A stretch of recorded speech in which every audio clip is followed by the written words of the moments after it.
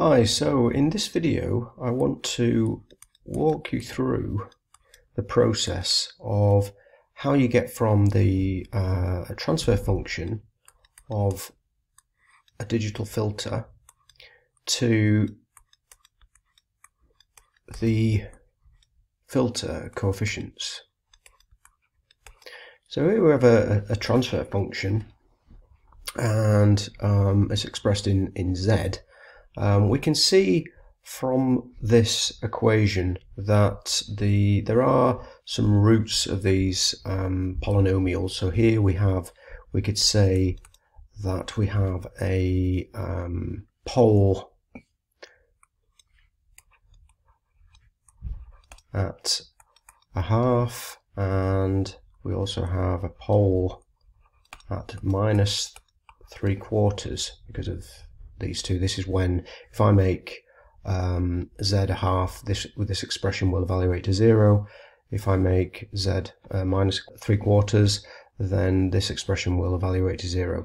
And at the top, we can say we have a zero at minus one. So we can we can say that by by inspection. But how do we get from here to the filter coefficients? And therefore, you know, it would enable us to realize that in a uh, difference equation. So what we want to do is work through this equation. I'm not change the top yet. I'm just going to multiply out. Uh, so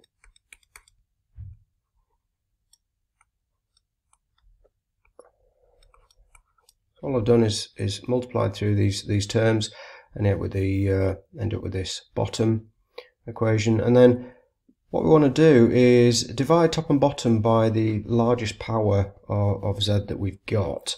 So um, in this case um, we want to essentially multiply by z to the minus 2 both on top and bottom and the, the 2 is represented you know, it comes from the fact that we've got 2 um, above this z.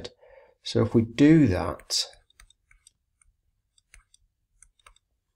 then we will end up with z to minus 1 because z to the 1 minus 2 is minus 1 plus z to the minus 2.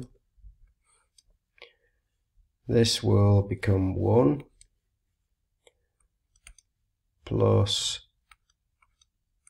quarter z, oops, quarter z to the minus 1, and then minus 3 z minus 2. Okay, so um, now what we have is, is an expression um, in terms of z, but raised to the negative indices, and these would uh, represent the delays in our um, difference equation. So if you if you remember, h z is equal to y z over x of z. So if we just kind of work through this some more, um, we will end up with so this will go across here. All these are the y terms here. All these are the x of z terms here. So we bring x of z up y of z over there, and we will end up with yz equals, and if we take the x's up here and we evaluate across, because these are the uh, feedback terms, we will end up with x z z minus 1 this term added to x of z, z minus 2 because of this term. And then this positive, because it will come over the other side of the expression, becomes a negative. We end up with a quarter yz z minus 1. And this becomes a positive plus 3 eighths yz z minus 2.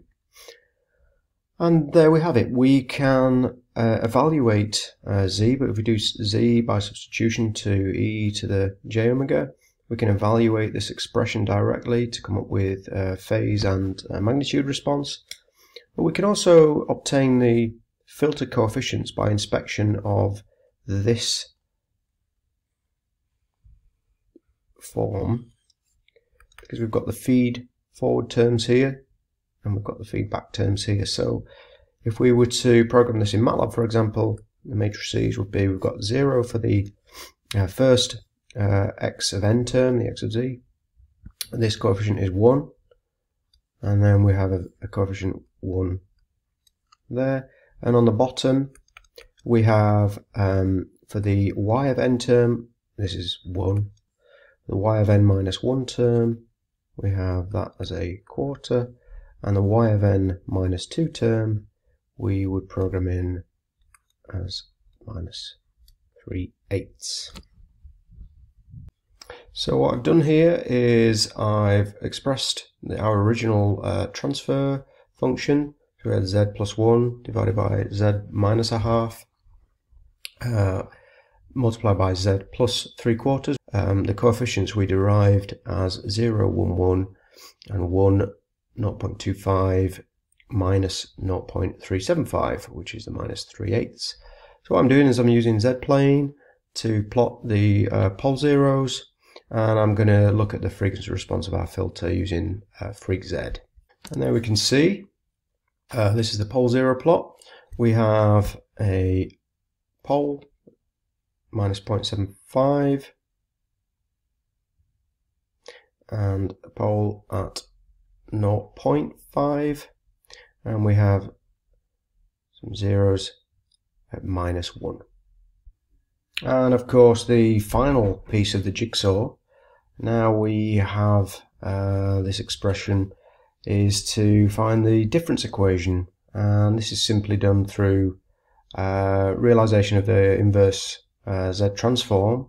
So if we transform these um, these expressions, we will end up with y of n equals, this is the uh, x of n minus 1 term added to, and this is uh, the z minus 2 term, so this will be x of n minus 2 minus, and then we have the quarter, and this is the this is the y of z term. So this is and it's minus one. So this is y of n minus one previous output added to, and then we have the three eighths again y of n minus two and we can realize that so we'll need two storages for X if we do a, a direct uh, implementation and two storages for Y.